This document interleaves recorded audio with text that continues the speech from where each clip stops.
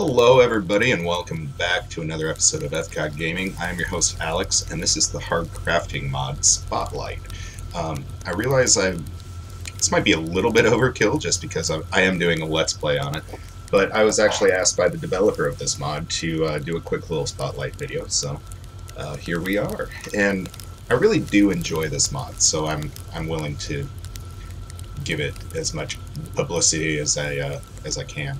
So uh, yeah, this is iron production. Looks quite a bit different than the vanilla game. Um, and there's actually three tiers of iron production uh, in this mod, and uh, I've got all three of them set up basically. But uh, yeah, if you're not familiar with this game, uh, I am going to link to the uh, mod in the description, obviously. But uh, basically, this adds new crafting recipes as far as iron and copper go. Um, there is uh, modified recipes for the logistics and um, construction robots as well, but that is not the default anymore. Uh, but you can turn that in in the uh, in the LUA file or yeah, whatever. But uh, yeah, so uh, let's go ahead and walk. I'll just kind of walk you guys through um, the different tiers. Now, tier one is what you start out with, and I've still got it set up from when I first started the game. I had to move the mine because I ran out of materials. But uh, yeah, basically, let me clear this out a little bit. Basically, what we have is a mine, a box, an inserter, and a furnace. Now, the uh, with this mod, when you mine iron ore, instead of just making iron ore, it makes three other products as well. It makes iron nuggets, uh, dirt, and gravel. Now, dirt and gravel uh, can be used for certain things, but for the most part, um, especially dirt, is kind of a waste product. Uh, you can use it to build roads that actually slow down your vehicles, which is kind of useful when you're coming into base and stuff like that. Uh, gravel, I believe you can... No, I was thinking maybe you could use that as well, but I don't think you can. Um, but yeah, so when you smelt iron nuggets, uh, that's a one for one, uh, kind of like how the ore was uh, in the vanilla game. Uh, when you smelt iron ore, it actually turns. Uh, you you have to smelt two at a time, and that turns into one iron plate and one iron slag. Now, when you're at this level, Iron slag might seem like a waste resource, but you want to keep a hold of that because once you unlock the uh, other tiers, uh, it is actually quite useful. Um, and by that I mean you can actually use it to make iron plates. It's just not something that you have by default. So, this is kind of a slow process, uh, especially with the iron ore. So usually I'll, when I'm starting out, I will set up one or two extra uh, iron mines just for that reason. so anyway, uh, once you get into uh, producing things and researching things, uh, if you go into your research screen, I believe it is when you research Crusher, that's when it unlocks uh, different types of metal processing, as well as the uh, copper processing, which I'll get into in a second here. But uh, but yeah, basically uh, that's your tier two uh, metal processing, which I can demonstrate up here. So this is tier three, so we're not going to deal with that right now. I'm going to fill this full of coal though, just so that it doesn't keep bugging me. Now, for simplicity's sake, um, I've just set up one of each factory, uh, so it's not balanced to the point where it would be most efficient. But this way you can kind of see the flow of materials and stuff like that. And uh, yeah, it's just kind of simpler or more simple to, to look at. Um, I obviously also don't have coal going to these furnaces. Uh, you can easily set this set this up with electric furnaces or just add a coal line in here somehow. Uh, but for the purposes of this video, I decided just to manually fill it up which isn't too bad. so anyway, um, I've got these two electric mines, uh, which are producing your ore, your dirt, your gravel, and occasionally your iron nuggets. Iron nuggets are kind of rare uh, with those, but it's fine. Um, and so along this belt, I've got different smart inserters uh, that are sorting out the various resources. So these for, well, three um, inserters and boxes are sorting out the dirt and the gravel. The reason I have three of them is because when this thing gets going, if it picks up a ton of ore at the same time, uh, you can easily have stuff slip by here. And if it doesn't have ore to pick up, it's going to clog up your system. Um, so I have that stuff going to a box, and then I have the gravel going onto this belt, uh, which gets fed into a, a assembling machine that's making a pile of gravel. Uh, because at this point, gravel is kind of a waste product. It's not being really used for material processing. Uh, so pile of gravel takes two gravel, so that kind of clears up some inventory space. And then furthermore, you can smelt that into, well, it's not happening right now, but you can smelt that into stone bricks. And then I've decided to make the stone bricks into walls, even though I have this map set on peaceful, so I don't really need walls. Anyway, so that's getting rid of the waste products. Uh, so the actual useful products, the iron nugget, uh, for starters, gets pulled off of the input belt, gets sent over to this smelter, and like I said, that's a one for one. So you put one iron nugget in, you get one iron plate out. And actually, I'm going to start some research here. Um, I don't really care what it is. I just want it to be kind of expensive, just for the uh, just to kind of keep the production line going. Uh, let's do lab efficiency. Because I've pretty much researched everything I need to uh, show you guys what's going on. So, the iron ore uh, goes into the crusher machine, uh, which is a new resource just for this, this mod. It has a couple different uses. Um, in this case, it's turning 10 iron ore into uh, three different byproducts. It, it'll turn it into stone, uh, crushed iron, which you can see there, and then uh, iron nuggets. Again, iron nuggets, one-to-one smelting ratio, so they get put on the same belt as the iron nuggets from the sorting belt. Stone, again, is at this point, it's kind of a waste resource. You can use it obviously like you would stone in any other situation. Uh, but for right now, I'm just putting it up in a box because um, I don't really have a use for it. uh, in my playthrough, I actually have this and the piles of gravel both getting smelted into stone blocks and then turned into walls. And I've got a ton of walls, uh, let me tell you. But uh, yeah, so anyway, that makes crushed iron, which this smart inserter is turning, or moving to this furnace, which uh, crushed iron will turn into iron plates and slag, which the slag is getting turned, taken immediately to this other crusher over here. Uh, once you have five slag, it goes through the crusher, and it will get turned into gravel and um, a less amount of crushed iron, which goes back into this furnace and then set out on this belt. So it kind of seems just looking at it uh, that it's kind of a perpetual resource, but it's it's really not. It's just kind of turning, just kind of taking every little bit of that crushed iron out that it can.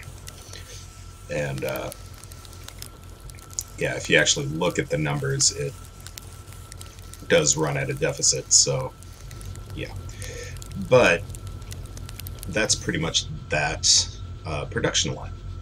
So you have gravel being taken in here uh, as a waste resource, you have dirt as a waste resource, and you have stone as a waste resource. And these two crushers or a system of these two types of crushers are going to feed your smelters. And uh, yeah, it works. So, uh, and then you have your iron uh, nugget production, which is also going to feed that smelter. Let me just grab some iron up the line because I, I just want to see, have you guys see this in action. Actually, do that.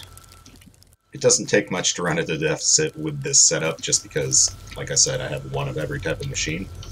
Um, once you, if you're building your own factory, obviously you're going to want a much larger setup.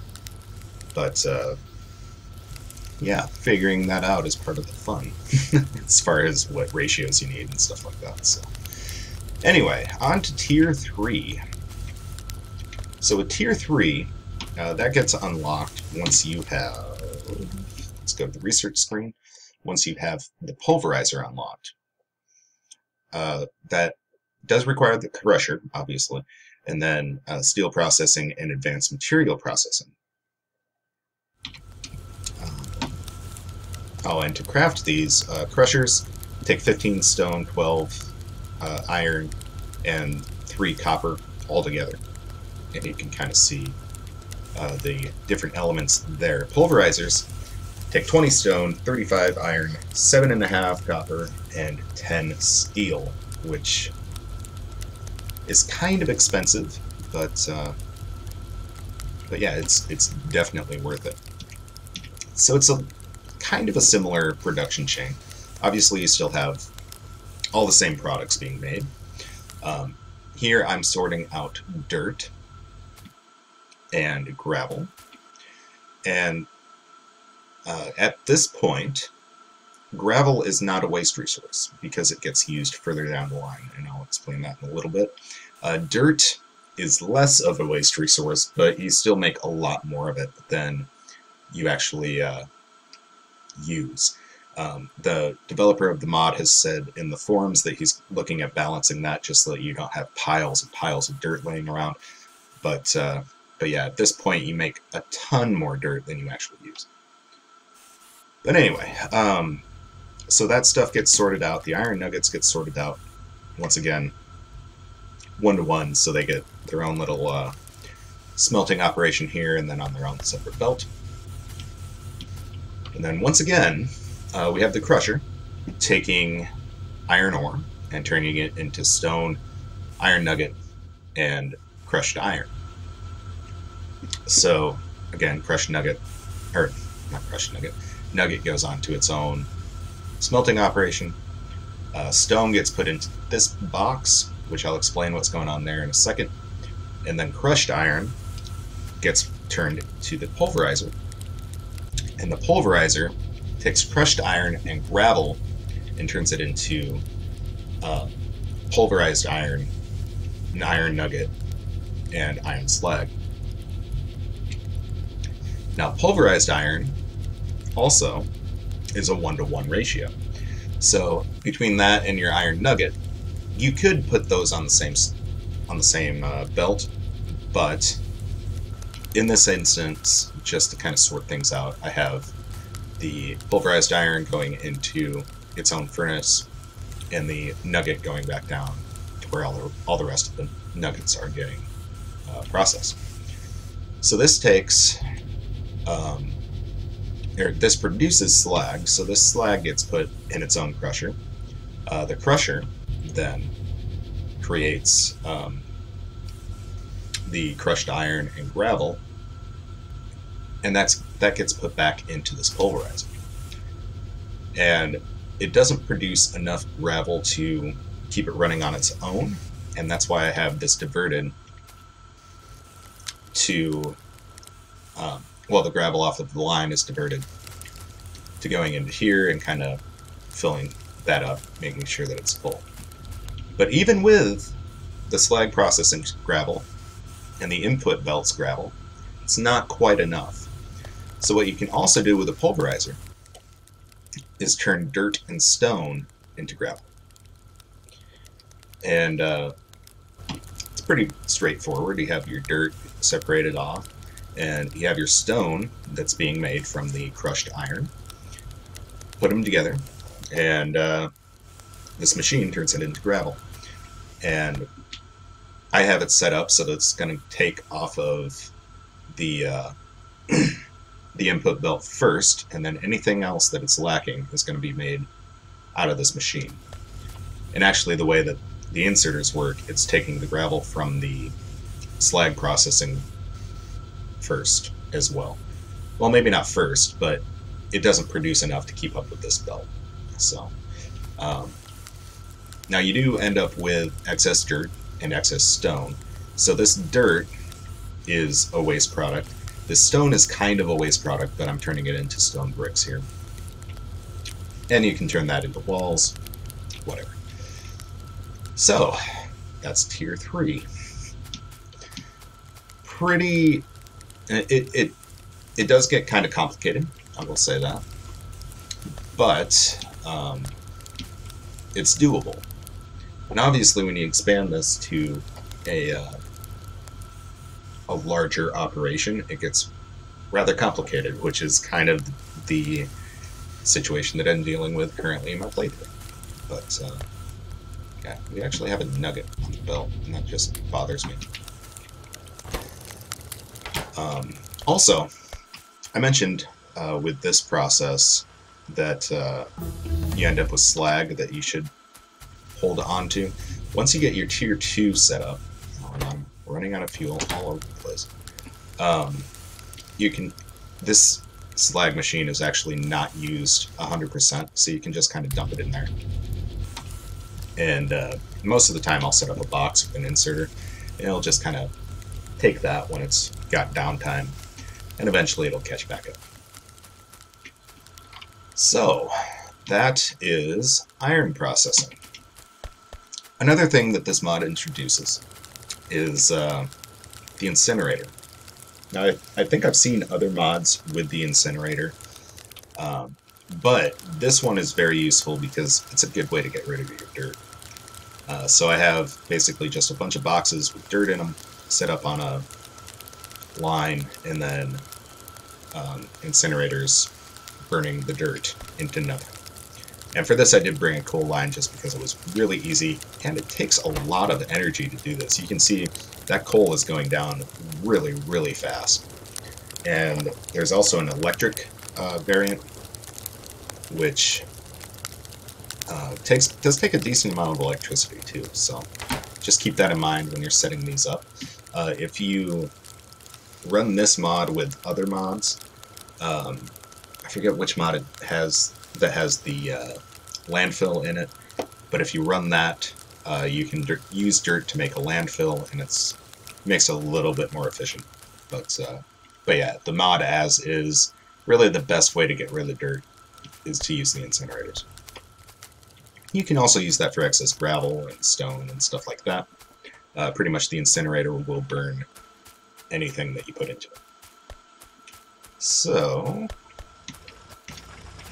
we are going to go down to our copper.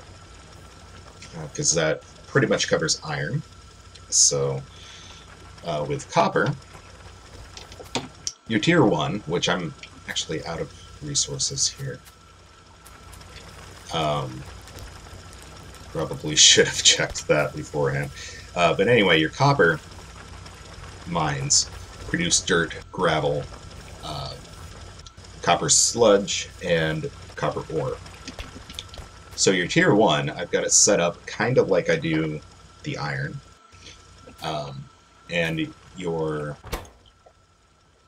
uh, stone furnaces are going to produce uh, one copper plate and two copper sludge for every three copper ore that is put into it. So you end up with a lot of copper sludge uh, kicking around when everything's said and done. But again, you want to hold on to it because it's useful just like that iron sludge is. Uh, so I'm going to grab that and I'll kind of show you what I'm talking about. Also, as you can see, leftover dirt and gravel. So, uh, Tier 2 is fairly straightforward. Um, again, I have the same sort of uh, sorting type deal. with the dirt and gravel. And the uh, dirt just stays in the box. Gravel, again, goes to a gravel factory, get, get made into stone bricks. Blah, blah, blah. Um, now, the uh, copper sludge that you make from the input belt and from smelting gets directed into this crusher. Now the crusher takes two copper sludge and creates uh, gravel and uh, crushed copper, or copper dust is what it's called. And see if I can find the recipe for that. Yeah, sludge processing uh, makes one to one for that. So, again, the gravel's getting diverted into this factory, making stone bricks. Uh, the copper dust is a one-for-one -one smelting. So that gets put into this furnace. One of those produces one copper plate. Awesome. Uh, tier 3, which is down here, is quite a bit more complicated. And I actually have it paused right now, uh, just to just because I was making way too much copper because I'm not even doing tier 3 science yet. Um, but anyway, you have your input here, and we are taking the sludge off of the belt. We're also separating the copper and the gravel uh, that comes off, and obviously we're just taking the dirt off there. Um, and I suppose you don't necessarily have to separate the ore and the gravel, but I, at least in my experience, um, everything kind of runs smoothly because, or a little bit more smoothly because you don't have instances where everything is filled with copper ore and it can't get to gravel, and vice versa. Um, but anyway, uh, we have the same sort of uh, copper sludge processing. So that gets turned into gravel, which gets put back on the belt. So it can get used a little bit further down the line. And uh, we have our copper dust, which actually gets put into uh, the same copper dust that gets produced a little bit down the line. I'll explain that here, well, right now. Uh, basically, with Tier 3, you take your pulverizer, and you take copper ore and gravel, and it turns that into your copper dust and sulfur. Now, it produces uh, four copper dust and two sulfur. That gets directed into this factory, which takes those two ingredients and turns them into uh, copper sulfate. Now, with that, that takes 9 copper dust and 5 sulfur dust, which you'll notice is a slightly different ratio. So you actually end up with more copper dust than sulfur dust, and that's why I have this um, this furnace at the end of the line, just to kind of catch anything that isn't used by this factory. And that works fine. Um, until your copper belt fills up, and then you're kind of things don't balance out quite right, and yeah, you're kind of in a bad spot. Um, in my playthrough, I actually used uh, smart inserters paired with smart boxes uh, to kind of set up a conditional thing of grabbing uh, the copper dust. But anyway, that's something you can figure out on your own which, like I said, is part of the fun. So anyway, uh, the copper sulfate gets fed into this chemical plant, which takes the copper sulfate and water and turns it into copper plates, gravel, and sulfuric acid. So, um, with that, I actually have it set up so that the gravel go gets cycled back around into uh, being used with the copper dust and sulfur. Then the copper plate obviously gets fed into the into the main line.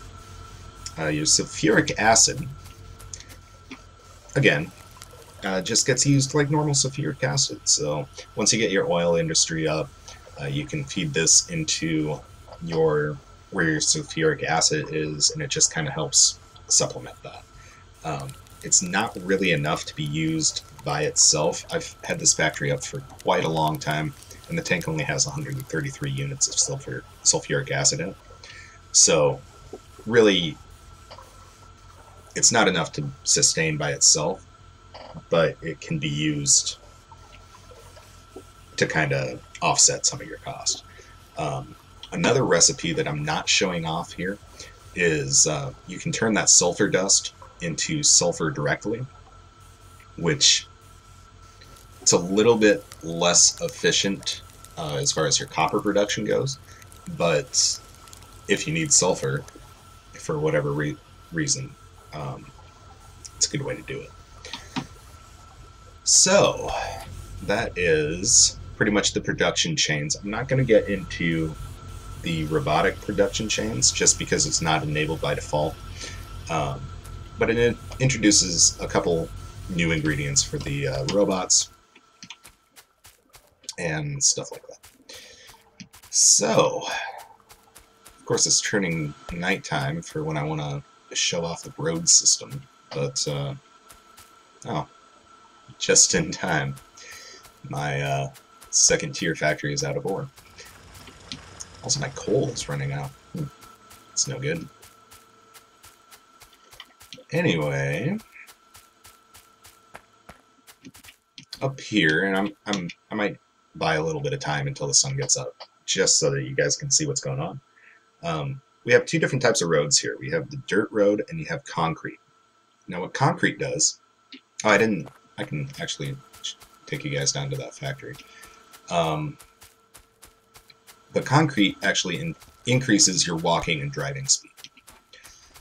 And the recipe for that is 5 stone brick, 1 iron ore, and 10 water. Now obviously I don't have this set up to feed automatically, but you could easily do that. Um, and then that leaves you with concrete, which gets put down four, in a 4x4 square and is kind of iffy when you place it down, but I don't think that that's the mod's fault. I think that's Factorio's fault, just how, with how it deals with uh, ground textures. As you can see, just goes down like that, and the, the dirt gets plopped down at the same same rate.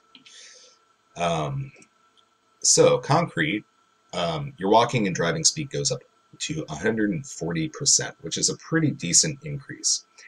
So if you want like if you have different outposts or uh, whatever, or you just want to get around your main factory a little bit faster, you can put these down and it will help you do that. Um, on the other side of that, you have uh, your dirt road, which actually slows you down.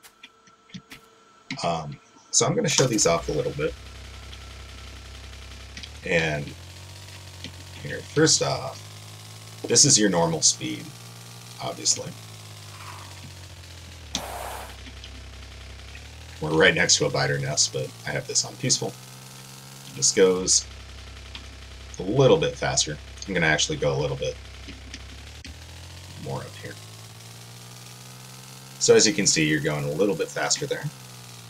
And then once you hit dirt, you slow down and if you're in a vehicle and you don't have the accelerator pushed, you pretty much stop immediately, which can be pretty useful if you, uh, so let's say you have this concrete as a road, and then you get to your base, you can stop pretty much immediately, and then you don't blow up your car or hurt your factory, stuff like that. So, that pretty much covers the different textures there. And I think that is it. So this is a pretty good mod. Um, has a couple balancing issues, mostly with the dirt, just because there's not a lot of use for it, and you make a lot of it. But uh, but yeah, I'm pretty content to just have it be burned by incinerators. And uh, yeah, so like I said, pretty good mod, pretty well thought out. And uh, yeah, I highly recommend that you guys go and check it out for yourselves. Uh, so if you want to see a little bit more in depth um, of what this mod is capable of, I'm going to link to the playlist of my playthrough. Um, and uh, I'm also going to link to the mod itself in the description. So, if you uh, like this video, feel free to give it a thumbs up. If you want to see more mod spotlights like this, uh, hit that subscribe button. And uh, yeah, as always, remember to take care of yourselves out there. And thanks for watching.